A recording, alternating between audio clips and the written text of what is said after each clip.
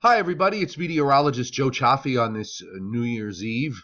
My tooth is much better, but now I seem to be fighting some kind of other bug, so I'm a little bit subdued. But nonetheless, let's run through what's going on because uh, you know we've got we've been in sort of atmospheric turmoil for a while, and, and I think that continues. First off, there isn't too much happening uh, tonight with the arrival of the new year here in the eastern part of the United States is just this weak uh, weather system that's moving on through. There's a warm front that's going by, and then a cold, weak cold front that follows, and there might be a uh, a rain or snow shower with that overnight when the new year comes in. Tomorrow is going to be a pretty mild day throughout much of the east. There's no real cold air. It's mostly no, north of the Canadian border.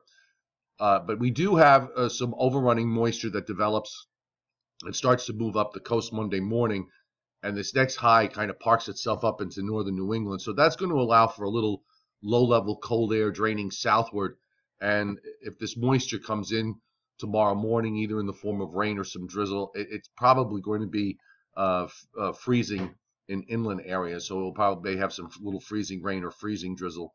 It doesn't look like a big deal here. There's not a whole lot that's being generated. Much of the moisture is getting pinned back to the south as low pressure starts to develop in the Midwest, and it looks like uh, pretty decent snowfall for parts of the Dakotas and through Minnesota, northern Minnesota, as a, a low goes up there. You can see there's a low here, a low here, and a low here. There's, it's a very um, uh, some uh, complex, and yet in the same time it's kind of convoluted with all these all this energy running around. It's just hard to get a big storm to form. So you have, you know, almost a, a, a huge warm front here, and there's a, a low that's going to develop, a weak low that's going to develop off the Virginia coast out of this. The bottom line is that there probably will be a pretty good soaking rain uh, for the east, uh, for the northeast in particular, out of this on Tuesday.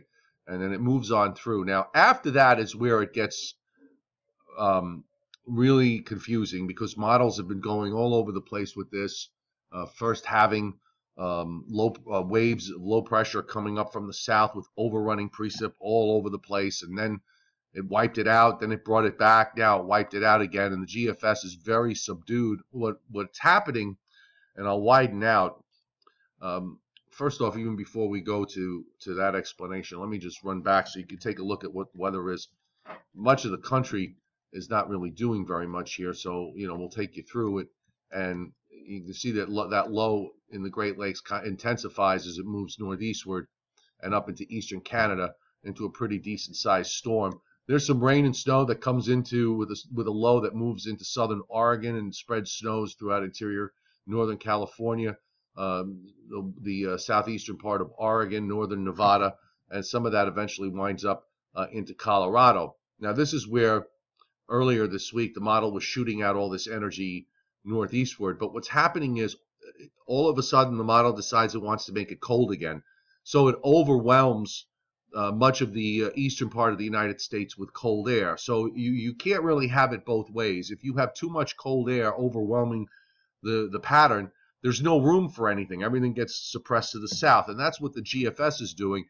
And you see it takes out two waves. It, waves. It even has some frozen and freezing precipitation in the coastal Carolinas here by uh, next weekend before that low moves out. And then you get more energy that comes into the west. So, you know, it's so messy.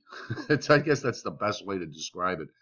Um, let me show you the upper air because this is where we've we've seen a change and and I think the big problem is you know when you have a lot of energy that's running around in the atmosphere the models just sometimes don't know which which energy to key on but let me just back it up. So here's the system for Tuesday. And now you can see all this area in blue. That's colder, uh, colder air, and it covers virtually the entire United States from coast uh, coast to coast. But it overwhelms it, and the flow, you know, there's no there. It, it's basically flat. There's there's you know troughs that are out in the Pacific.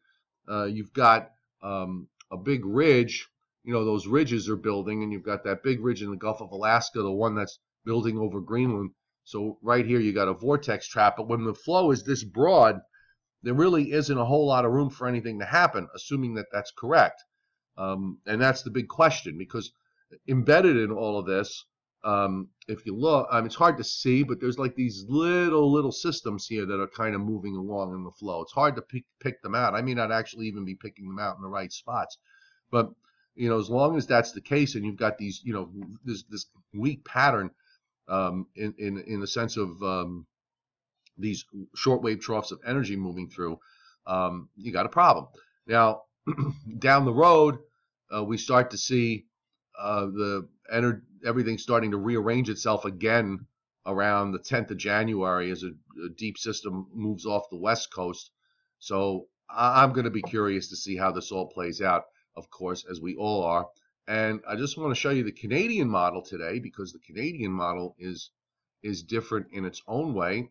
And let's um, let me see if I can get the if it's out far enough. And unfortunately, I don't believe that it is.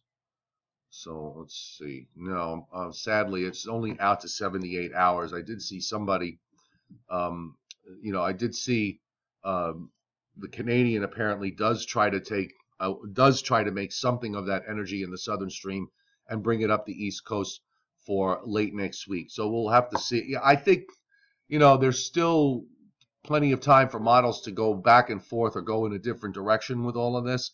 But for the time being, we're going to just keep things the way they are and just see what happens and, and kind of follow along on this mystery.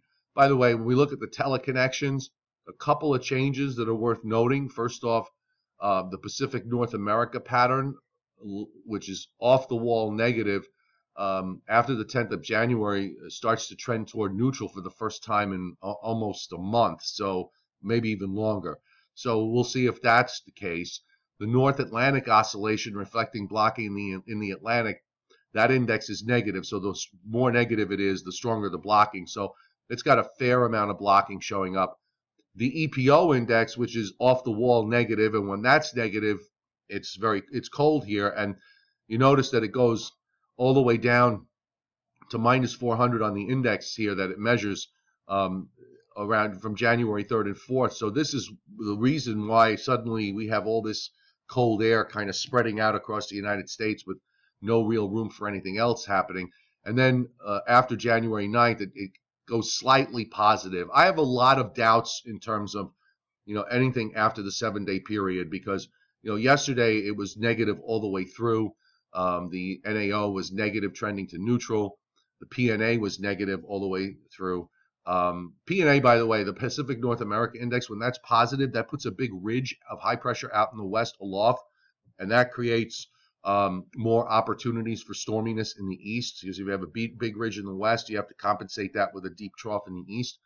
So I, I'm, I'm kind of in a state of confusion here, which I suppose is par for the course considering the kind of year we've had um, with 2016. A very strange year in so many respects, especially weather-wise.